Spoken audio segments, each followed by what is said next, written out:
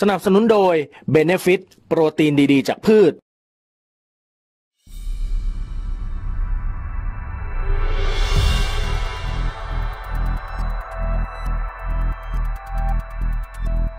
นายพิธาลิมเจริญรัตน์ประธานที่ปรึกษาหัวหน้าพักเก้าไกลบรรยายพิเศษที่มหาวิทยาลัยเกาหลีเมื่อช่วงค่ำของวันที่ 6 ธันวาคม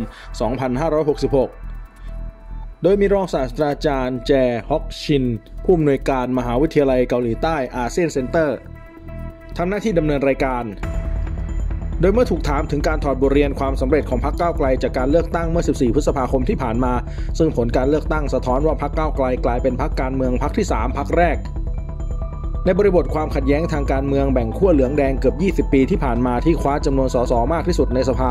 อะไรคือสิ่งที่ทำให้พรรคได้เสียงสนับสนุนจากประชาชน อย่างกว้างขวางโดยเฉพาะคนรุ่นใหม่ นายพิธาระบุว่าคำตอบที่กระชับที่สุดคือสังคมไทยเกิดฉันทามติใหม่สำหรับความปกติใหม่ ความขัดแย้งแบ่งขั้วการเมืองทำให้การพัฒนาทางเศรษฐกิจประเทศหยุดชะงักเป็น 2 ทศวรรษที่สูญหายไป นับตั้งแต่ปี 2549 สังคมไทยต้องเผชิญกับการรัฐประหารถึง 2 ครั้ง ตลอดจนการประท้วงอีกมากมาย เป็นฉันทามติใหม่เป็นสิ่งที่คนมองหา หากวิเคราะห์ถึงความเห็นต่างของขั้วขัดแย้งมวลชน 2 ฝ่ายจะเห็นชัดว่าฝั่งอนุรักษ์นิยมหรือคนเสื้อเหลือง ให้ความสำคัญกับการแก้ปัญหาทุจริต ขณะที่คนฝั่งเสื้อแดงกังวลเกี่ยวกับการใช้วิธีทางต่อต้านประชาธิปไตย ที่รวมถึงการรัฐประหาร ระบบ 2 มาตรฐานและความเป็นธรรมโดยการหลุดพ้นจากวงจรที่เริ่มจากความขัดแย้ง การแก้รัฐธรรมนูญใหม่ การเลือกตั้งการรัฐประหารที่วนไปมาซ้ำๆคือต้องทำให้เกิด common ground ในสังคมที่ทำให้เชื่อมั่นว่าปัญหาเหล่านี้ ที่ทุกฝ่ายกังวลจะได้รับการตอบสนอง ไม่ว่าจะเป็นการแก้ปัญหาทุจริต การให้ความสำคัญต่อหลักนิติธรรม การตรวจสอบทวงดุลประชาธิปไตยและเสรีภาพนายพิธาระบุว่าประเทศที่เผชิญความไร้เสถียรภาพของประชาธิปไตย ที่การรัฐประหารหรือความพยายามรัฐประหารอาจเกิดขึ้นได้ทุก 5-6 ปีทำให้ยากแก่ภาคธุรกิจที่จะประเมินความเสี่ยงทางการเมืองที่เกิดขึ้น แน่นอนว่าย่อมส่งผลกระทบอย่างเลี่ยงไม่ได้ นี่เป็นเรื่องยากสำหรับประเทศในการที่จะมีเสรีภาพในการสร้างนวัตกรรม นอกจากนี้ยังระบุว่าตนเองการได้มาเยือนเกาหลีใต้มีสิ่งที่ปรากฏขึ้นมาในความคิดอยู่2อสอย่าง และมองว่ามีความสำคัญที่ทำให้เกาหลีใต้ยืนอยู่ในจุดที่เป็นอยู่มาทุกวันนี้ คือรากฐานประชาธิปไตยที่หมายถึงสิทธิ ในการปกครองตนเองและเสรีภาพ สิ่งเหล่านี้ล้วนเป็นองค์ประกอบที่ทำให้เกาหลีใต้ ซึ่งเป็นประเทศขนาดกลางมีประชากรราว 50 กว่าล้านคนไม่ได้ต่างจากไทยมากนัก สามารถเอาตัวรอดได้ในสภาพการแข่งขันของโลกที่เป็นในตอนนี้ทั้งนี้เกาหลีใต้ได้พิสูจน์แล้วว่านอกจากนโยบายการพัฒนาเศรษฐกิจ สิ่งที่เป็นพื้นฐานที่อนุญาตให้การพัฒนาทางเศรษฐกิจ ในทิศทางดังกล่าวเกิดขึ้นได้คือรากฐานประชาธิปไตย ประชาชนได้ลองผิดลองถูก รัฐบาลได้ทำงานเพื่อประชาชน ทำให้นึกถึงช่วงเวลาที่เรียนอยู่ที่ฮาวาดและ MIT และได้มีเพื่อนร่วมชั้นจากเกาหลีใต้ ซึ่งอาจจะมีความเห็นต่างกันต่อรัฐบาล หรือมุมมองต่อสวัสดิการสังคม สิทธิแรงงานหรือประเด็นอื่นๆ ใดก็ตาม แต่สิ่งที่ได้พบเป็นเพื่อนชาวเกาหลีใต้ทั้งร้อยเปอร์เซ็นต์คือการไม่เดินออกจากเส้นทางที่ประชาธิปไตยควรเป็น ตนมองว่านี่น่าจะเป็นเหตุผลที่ทำให้เกาหลีใต้มีความก้าวหน้าในแง่ประชาธิปไตย เสรีภาพและการพัฒนาทางเศรษฐกิจ ที่สะท้อนผ่านตัวชี้วัดต่างๆ ระดับโลก ซึ่งความสัมพันธ์ระหว่างการเมืองและเศรษฐกิจลักษณะนี้ คือปัจจัยที่อนุญาตให้เกาหลีใต้เป็นประเทศที่มีนวัตกรรม และความสร้างสรรค์ในเวลาเดียวกัน และเป็นทิศทางการพัฒนาที่ตนเองอยากเดินหน้าไปสู่จุดนั้น หากอยู่ในฐานะผู้นำประเทศ ส่วนประเด็นความสัมพันธ์ไทยเกาหลีใต้ มองเห็นโอกาสอะไรบ้างที่รออยู่ข้างหน้าในความสัมพันธ์ระหว่างสองประเทศ นายพิธาบอกว่ามองได้ทั้งในแง่เศรษฐกิจและการเมือง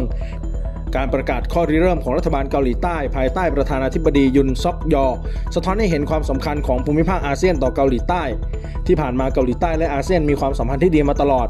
ในแง่เศรษฐกิจมีการลงนามความตกลงการค้าเสรี แต่ขณะเดียวกันก็มองว่าข้อตกลงการค้าเสรีทวิภาคี ที่อาจเป็นไปได้ในอนาคตระหว่างเกาหลีใต้และประเทศในอาเซียน รวมถึงไทยอาจจำเป็นต้องรวมเอาการกำหนดยุทธศาสตร์ ที่คำนึงถึงประเด็นความยืดหยุ่นของห่วงโซ่อุปทาน สิ่งแวดล้อม ดิจิทัลการแพทย์ รถยนต์ไฟฟ้าและอื่นๆ ที่อยู่บนฐานคิดของการพัฒนาความสัมพันธ์ระหว่างสองประเทศ และผลประโยชน์ของประชาชนทั้งสองฝ่ายมาพิจารณา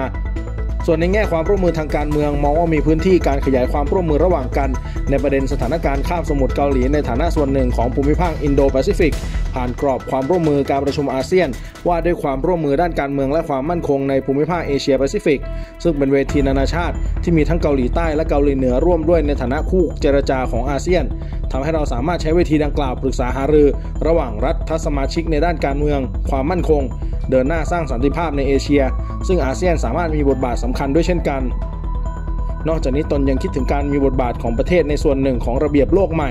หากนับแต่ประเทศไทยมีประชากรกว่า 70 ล้านคนเพียงลำพัง ประเทศมหาอำนาจอาจไม่ฟัง แต่ถ้านับเป็นอาเซียนทั้งหมดเกือบ 670 ล้านคน ซึ่งประกอบด้วยประเทศที่มีอำนาจขนาดกลางหลาย ๆ ประเทศ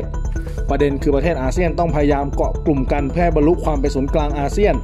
และเมื่ออาเซียนประสานความร่วมมือกับอีกหลายประเทศในภูมิภาคเอเชียแปซิฟิกรวมทั้งเกาหลีด้วย ก็สามารถกลายเป็นอำนาจที่มีขนาดใหญ่พอที่จะมีปากเสียง มีพลังในการสร้างสันติภาพในเอเชีย และมีอำนาจในการต่อรองเจรจากับประเทศมหาอำนาจอื่นๆ ได้อย่างมีประสิทธิภาพมากขึ้น